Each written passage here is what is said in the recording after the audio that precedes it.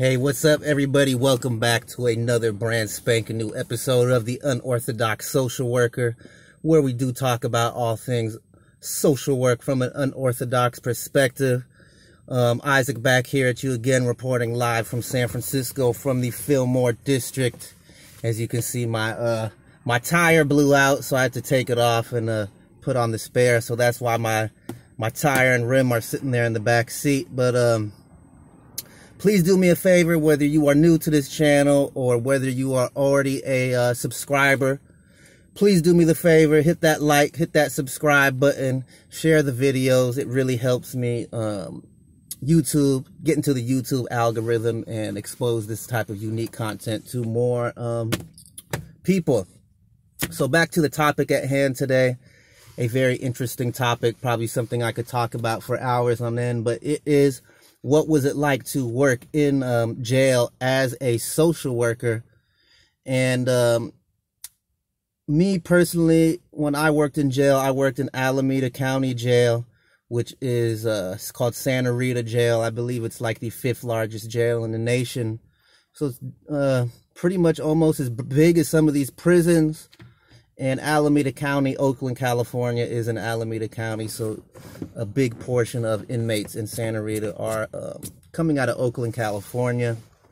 And the program I worked for, I uh, ran this program. It was a housing program for people coming out on what is called AB 109 uh, probation. And uh, these grant would, for my particular program, assisted with helping finding, securing, and paying for some type of housing for those coming out of Santa Rita jail. And before I go into this, I want to do briefly explain what AB 109 is. So AB 109 is a uh, bill passed by the California state uh, legislator, which basically says um, that the state does not want to take as punitive measures as it did in the past for those committing committing nonviolent felonies, and a lot of people like to say those committing nonviolent drug felonies. So there is a whole slew of funding coming out of the state of California to fund um, what we call reentry services, services uh, geared towards helping people coming out of jail and prison to uh, better reintegrate into society. Um, I'm pretty sure the reason the state actually put this bill in place was because the state prisons were actually getting filled to capacity. There is not enough uh, places in jail to keep, in prisons to keep putting people. The state's budget was strapped probably to build new prisons. So my guess is they built this, um, passed this legislation in order to reduce the prison population. And I guess by logic, they would want to let out the non-violent offenders. So, you know, a lot of people say, oh, when you come out in the state of California, they really don't have anything for you. All they have is a $200 and a bus ticket. But actually, if you are a nonviolent felon and you do fall under this AB 109 criteria, there is actually a vast array of uh, reentry services to take advantage of. But keep in mind, you know, if your crime was a violent felony, then you uh, you're not able to access any of these reentry services under um, AB 109. And again, my program that I ran through a nonprofit. So it's interesting that most of these homeless services grants are funded by HUD. And this program was actually funded by the state of California. So a little unique there. And I did notice maybe the audits, the oversight of this program was a little bit more lenient than maybe a HUD homeless housing program would be. So how did I get clients or how did I uh, get inmates, people coming out to um, participate in my program? So there was two ways. The first way would be I would actually go into Santa Rita County Jail or Alameda County Jail, uh, Santa Rita Jail, probably once or twice a week, and conduct um, outreach, trying to um, outreach clients, uh, uh, prisoners, or people in jail who would want to access these housing services once they got out. And before I get into this, you know, I don't want to go too deep into any specific story or expose too much. You know, some things are left uh, better unsaid than said at all. And, you know, by what I'm telling you, you can come to your own conclusions about what types of things may go on in a jail or prison setting. So I go to Santa Rita once or twice a week, checking at the front desk, and then you go through the first security checkpoint. I don't want to say too much about it, but all I'm going to say is that checkpoint was pretty easy to uh, get through. So you can come to the conclusion of what activities may or may not happen. Once I pass the first security checkpoint, I go down to what is called the reentry center, which actually used to be Santa Rita's um, basketball gym. So I'm in a big gymnasium. I'm there with other service providers, maybe people providing uh, employment services, education, uh, reconnection with family, things of that nature. I get a table. Any inmates um, in the jail who are who think they may need housing when they get out would notify their unit corrections officer or write a letter to the uh, corrections officer in the uh, transition center, which this gym is called the transition center. Um, it helps people transition out of jail. They could write a letter to the main deputy of the transmission transition center, and they could see me. They come sit down with me. I explain to them the program, where I can house them, how I can help them search for housing, or they can find housing themselves. Um, what the financial limitations I can pay for their housing are, how long I can pay for their housing after they are released, and what they need to do to be compliant within their case plan to keep receiving ongoing assistance. So, one option was inmates come to that transition center, they make an appointment, they see me, they talk to me, and then we arrange, you know, if they're interested in the program to for them to contact their probation officer, get a referral to my program, and then we begin to start working. Now, let's say if it was a high security inmate, uh, maybe somebody like in uh, solitary or something like that, or simply certain inmates, you could say maybe because certain inmates couldn't be in the transition center at the same time, maybe they're enemies, maybe they don't get along. So, in the case I'm not visiting an inmate in the transition center, pretty much I'd free access to travel throughout this jail and go into any unit I needed to to see any of the prisoners who were interested in the program. And pretty much given free access to go walk around the jail unaccompanied by any deputy. You know i'd see other inmates other uh, corrections officers nurses janitorial staff lawyers so forth and so on. So it's not like there's just in jails and prisons just inmates and corrections officers. There's mate, like I said, there's maintenance crews, there's medical staff, there's lawyers, there's a vast array of uh, people who could be in a in a jail besides a, a police officer and an inmate. And once I would get to the unit I needed to go to, I'd ring the bell. The uh, corrections person in the tower of that unit would let me in I'd usually go into the day room, which was kind of separated from the cells, and have that same conversation with the inmate. If it was a very high security inmate, you know, uh, then I would actually just be escorted up to the uh, client cell or the inmate cell, and I would conduct my uh, outreach effort with the client through the little flap in the um, door. And surprisingly enough, you know, before I, because I've never actually been uh, booked into jail, but don't get it wrong. You know, I do. I have been pulled over, stopped. You know, had had uh, cops pull me over and check to see if I was on paperwork more times than I can think. Um, but I've never been to jail, and I actually thought maybe going into the jail I might feel a little bit uncomfortable, uneasy, like maybe who knows, maybe it would be a little bit dangerous. But surprisingly, I actually felt pretty comfortable in there. I never felt threatened. Um, I never felt uneasy, and that was actually a little bit um, surprising on um, my end. You know, keep in mind I was able to go in there because I do have a clean criminal history, never been to jail. But some social workers actually um, are formerly incarcerated individuals, and I actually think that that may work out better many cases because if the social worker goes in there and uh, tries to outreach or help people enroll in social services programs, since they've been to jail or prison, um, they can relate to the client what they're going through. And a lot of times, I think uh, someone who has actually been formerly incarcerated would be a better match to work with people as a social worker in jail than someone like myself who has never been um, locked up. So keep in mind, like I said, the first security checkpoint was pretty lax, and you're given free reign to pretty much walk around the uh, jail and prison.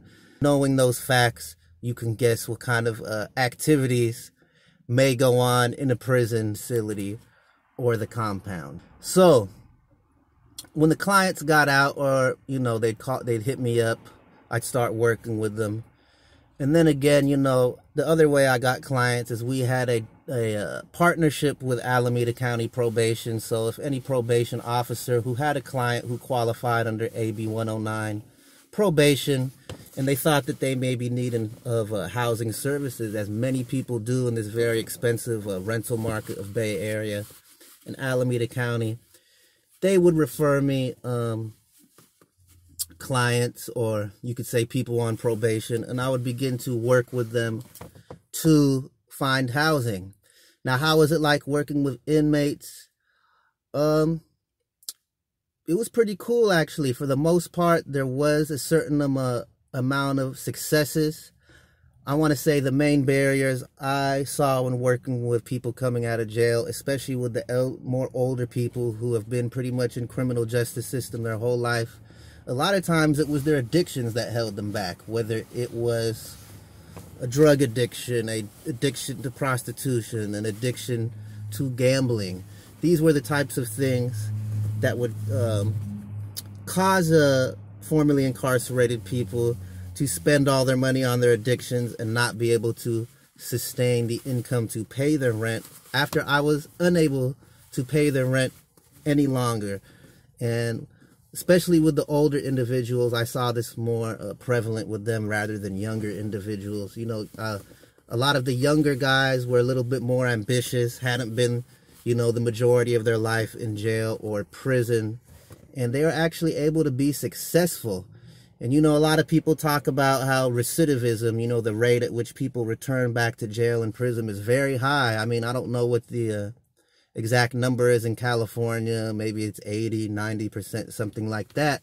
But I could say that anybody who went through my program and during the time where they were still enrolled in my program, we had a very low recidivism rate. I think it was maybe 15 to 20%. So that really shows that if we do offer these reentry services to people coming out of jail, then um, they have a much likely higher likely chance of not returning to jail. And ultimately, it saves the taxpayers money because it actually does cost more money on the state to pay to house somebody in jail than it does to pay for their services to help them find employment, uh, go to addic- uh, addiction recovery and housing and things of that nature. So I say that to say it's very important that we do um, continue these reentry programs because it does, the stats show that it does reduce the chance of. Uh, inmates going back to jail. Now, keep in mind the majority of my clients were coming out of county jail, not prison. Although I did have some parole officers. So remember, if you're coming out of jail, you're on probation. If you're coming out of state prison, you are on parole. Prison is typically the place you go to once you've been found guilty of the crime and you serve your time. Jail is typically the place you go to. You're still innocent. You're fighting your case you're either going to be found innocent and let go or you're going to be found guilty. With this new AB 109 law, if you are found guilty and are usually serving more than two years, you're going to be um, sent to prison. If your sentence is less than two years here in California, you're usually going to be doing your time in the county jail. So that is a shift that AB 109 brought within the um, state of California. So keep in mind, I did have people coming out of state prison. And my feeling was if a parole officer had nowhere to house somebody, they would automatically put that uh, inmate or person coming out of prison not only on parole, but on probation as well. So I did get a few clients who were on parole and probation, and I was helping them finding them housing. And I could tell you there is a vast difference in the mental state of people coming out of jail than there was between the people coming out of state prison. People coming out of jail, though they might may have uh, experienced some trauma, you know, they seemed pretty even headed, pretty uh, even tempered, you know, logical, all those things. Now, pretty much dang near every client I had coming out of uh, state prison, you could tell whatever happened to them in prison had a very big impact on their mental health. Um, it was almost like a wide-eyed deer in the headlights kind of look when I was dealing with people coming out of state prison. So it was kind of interesting to observe, you know, people going into California state prison. It must be a uh, crazy experience because the vast majority of them were coming out with what I observed extreme mental health um, issues, you know, PTSD, you know, people being, you know, people that haven't seen a cabinet for 10 years. And then they're looking at the cabinet in my office and tripping that there's a cabinet, you know, tripping off basic normal things that people in the free world uh, don't even think about. So that is something to keep in mind. But overall, you know, we had a pretty good success rate, even though we couldn't house many people in their own apartments due to the fact that it's so expensive here in the Bay Area. I did have to house a lot of people in a single room or even a shared room, something that somewhat would more resemble a uh, halfway house than you would say permanent housing. Okay, now what was it like working with law enforcement? And keep in mind, me being a male, me being a person of color, growing up, you know, and living in urban areas, before I worked in this program uh, with law enforcement as a partner, my experiences with um, law enforcement were overwhelmingly negative. Like I said, I've been pulled over, questioned, detained way, way, way many more times than I can uh, remember. And every time I got pulled over, detained, stopped on the street, I never got arrested because I wasn't actually doing anything that crazy for them to arrest me. So at least, you know, I never got booked but my overall perception of law enforcement was very negative because I thought, man, I always get pulled over, harassed by law enforcement. You know what I mean? I'm not down with law enforcement. Now, actually, working in partnership with probation, and in this case, the Alameda County uh, sheriffs. So, the sheriffs in a county jail would be the uh, branch, you could say, of law enforcement. That is the correction staff in the jail.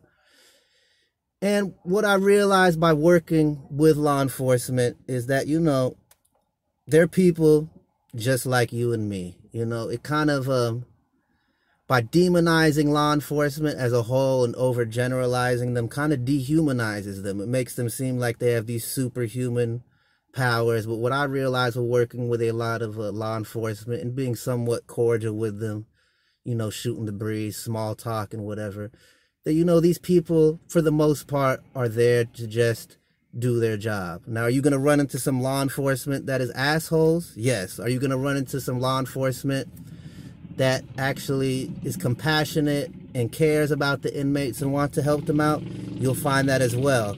Are you going to run into law enforcement that's kind of apathetic? They're not super jerks or they're not super compassionate, but they're somewhat apathetic. They're just there to do their job. You will find a healthy mix of all three of these people in my experience in working with law enforcement. Because keep in mind, I didn't work with the city law enforcement. I only worked with corrections officers and pro um, probation officers. And actually, overwhelmingly, my experience working with these deputies just in this one department um, the reentry department of Santa Rita County Jail. I actually had an overall positive experience with these deputies in the um, transition center. And I actually found that most of these deputies actually were compassionate. They did want to help out. They were really trying to connect the inmates with the reentry resources upon their discharge from jail. So, pretty much positive things to say about those deputies in the reentry center in Santa Rita jail. Okay. Now, how was it working with probation? Same thing. You know, some probation officers were kind of, you know, very abrasive. You know, they they demanded respect. You could say they were kind of not very nice people. But on the other hand, there was a lot of probation officers that actually, you know, if I had a concern with one of my clients and I wanted some backup or I wanted to counsel with them, some probation officers were very good at reaching back to me and making sure we're setting up clients for success. some were kind of non-responsive, and some were kind of doing too much. But that's kind of like at any job. You're gonna have some people that are nice, some people that don't care, and some people that are, are compassionate. So actually working with law enforcement really changed my opinion and kind of caused me to stop generalizing law enforcement as a whole. You know, although, you know, you could argue that the system is broken as a whole. So by simply you working for law enforcement, that makes you a jerk. You know, you know, that's a argument that uh carries some legitimacy. And don't by any means think I'm giving law enforcement a pass for any inappropriate or criminal behavior. So just because I'm saying that this experience helped me humanize police, it helped me understand them as people and get a different perspective. Don't think for a second that I'm giving them a pass on things such as, you know, them conducting criminal activity, you know, them shooting uh, unarmed and innocent people, them stopping you on the street for no reason, them, uh, you know, planting drugs on you and sending you to jail or um, working for the gangs in jail and bringing in contraband into the jails and prison. I'm by no means excusing any of that type of behavior. I think any type of law enforcement should be held to the same standards of the law as anybody else who would commit the same crime. And I will admit that at many times, majority of the time, law enforcement is not punished as hard as the normal person would be punished for the same crimes. But then again, like I said, this job opened my eyes up it made me realize, hey, not all cops are bad people. And that's just something that I wanted to um, touch on and bring to light, you know, because I do find that, you know, people who have never dealt with really law enforcement, never been locked up, worked in the jails, they kind of have this one dimensional view of law enforcement, like F them all, F the cops, F all of them. And it kind of just shows the ignorance, you know, where if you were to talk about someone in the criminal justice system, you know, they'll tell you there's some cops who are cool. And then there's even some cops who are cool because they work with them to bring in contraband. They, they, um,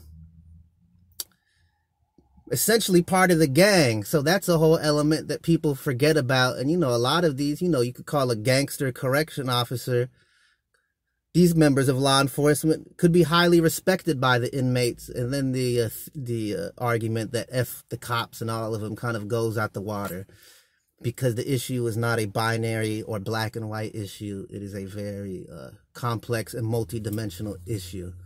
So overall, do I think that this program was a positive? I think definitely here in the Bay Area, it is a positive. Housing is so expensive, even though the program couldn't solve everybody's problems, you know, it is a step in the right direction. And just the fact that we're providing way more services than we were before due to this AB 109 bill, you know, whether the intention behind it was genuine or not, it is helping reduce the recidivism rate of people coming out with nonviolent felonies. And, you know, I do give props to the state for taking less punitive measures on those committing non-violent felonies or those committing non-violent um, drug felonies. Is the system perfect? No. Is the criminal justice system or the nonprofit or social services um, system perfect? No. Is there bad players in the game? Yes. Are some of them corrupt? Yes.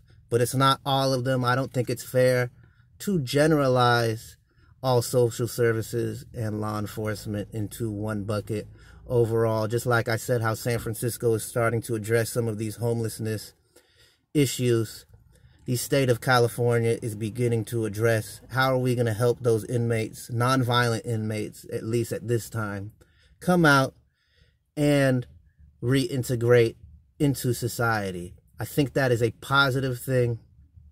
I think it's something that's more needed. I think it's something that the state is just starting to recognize, and hopefully they will continue to fund and expand and create more legitimate reentry services so that not everybody is getting caught up in the criminal justice system for some BS. And they do have a chance, you know, once they complete their terms of probation, to be a productive member of society you know, change their life around if their, their the life they were li- living led them down the wrong path. So that was just a basic, basic overview of what it was like to work in the jail. I'll do another video about the jail because I kind of just skimmed the surface. But that's it for today. Please don't forget to like and subscribe. Happy New Year. Uh, be safe. Please don't drink and drive, y'all, you know, because you could be the one ending up drinking and driving, getting that DUI, getting booked into county jails, and then you would be the one seeing someone like me for reentry services. So please stay safe. Don't drink and drive. Happy New Year. Let's make this a great decade since we got the new 2020 decade. And that is it. I'm out, Isaac, reporting live to y'all for the Unorthodox Social Worker, live from the Fillmore District in San Francisco, California. Have a good one. Peace out, y'all.